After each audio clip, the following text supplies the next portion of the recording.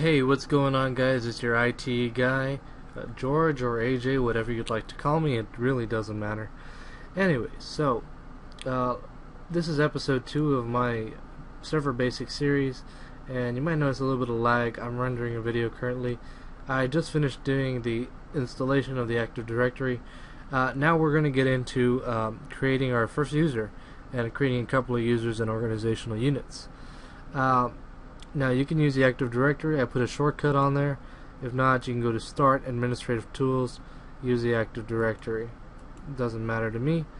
Uh, go ahead and run the Active Directory, users, and computers somehow. Alright, let's uh, get that up. Alright, so that's up now.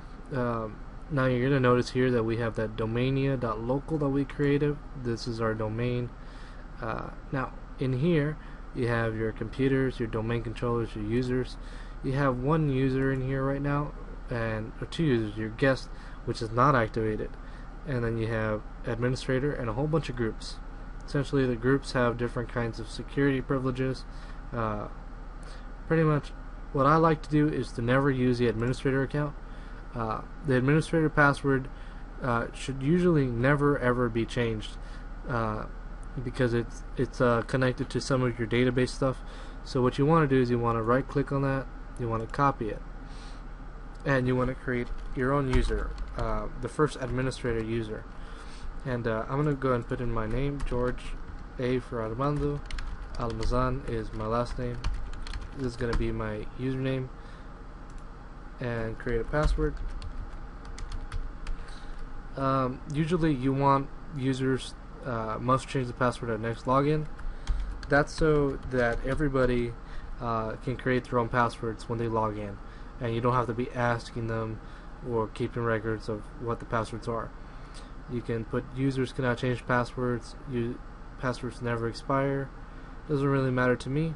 Um, I'm just gonna leave everything unchecked, and then click finish. At this point, you got your user. Uh, you can right click on it and in the description I like putting here um, IT admin you know simple uh, apply and member of right now uh, I'm a member of uh, all of these things because remember I copied over the administrator and the, the administrator has all of these uh, members and all these privileges that are attached to these uh, groups. Alright click OK now, the next thing we want to do is highlight the Domania local, right click on it, click New, and Organizational Unit. Now, I want to uncheck this for testing purposes, and pretty much it gives me a hard time to delete the organizational units if I don't do this, so I uncheck it. And here, um, uh, uh, I pretty much just like putting the company name, so company and then in here you can create another organizational unit. In this organizational unit you can put different things such as like the location. Like if there's one in Dallas you can have a Dallas location. Another another organizational unit in um, I don't know um, Milwaukee Detroit whatever. But uh, pretty much what organizational units are it's a pretty much a folder where you can keep your computers and the users in one nice little folder. And this is pretty good for setting permissions and things like that. Uh, what I'm going to do is uh, I'm going to have an IT department. I'm also going to have um, the new organizational unit, uh, account, accounting, and then another one called um, HR. So I have these three uh, things here. Now I'm in the IT, so I'm going to grab my user here, George Almazan, and drag it into the IT section. So you notice how it's not here anymore, and that's the way I like it to be. I don't have like having all my users here and all my computers here. I like having them in nice structured organizational units. Alright, so you got that now. So now um, what I recommend is to never use the administrator password because if somebody is shoulder surfing you and you use the administrator password and they so happen to figure it out, uh, now they got a whole bunch of um, yeah, now they could do a hell of a lot of damage. And you can't delete the administrator account, but you can delete things like the uh, or change the password of these regular accounts. Uh, changing the administrator password of the the regular administrator password can lead to a lot of uh, inefficiencies and problems in your network. All right, so um, now let's say you want you have a new employee in accounting. You go up here and create a new user.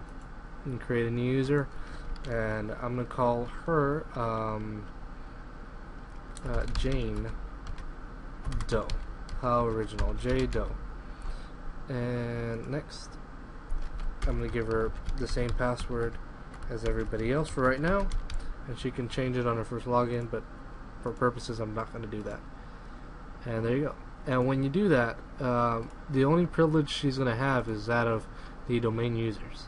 And that's fine with me. Here you can put that she's a, uh, maybe she's a head um, accountant or whatever they call them, the CPA, whatever. Uh, HR, let's say we have another a John Smith that's the head of HR uh, Smith.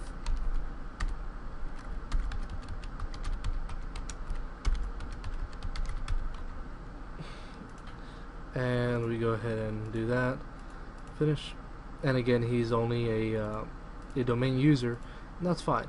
And here within the different uh, uh, things, you can create other organizational units. For example, if I wanted to create a systems admin, I can do that if, like, let's just say accountants. CPAs uh, are going to have access to more files than a regular accountant, or I, am or if they take care of different parts of accounting, or in the IT, if some people take care of uh, installing software, they don't need to know anything about the uh, servers, and they should only have exactly what they need, but nothing more than that strictly for security precautions, and that's it.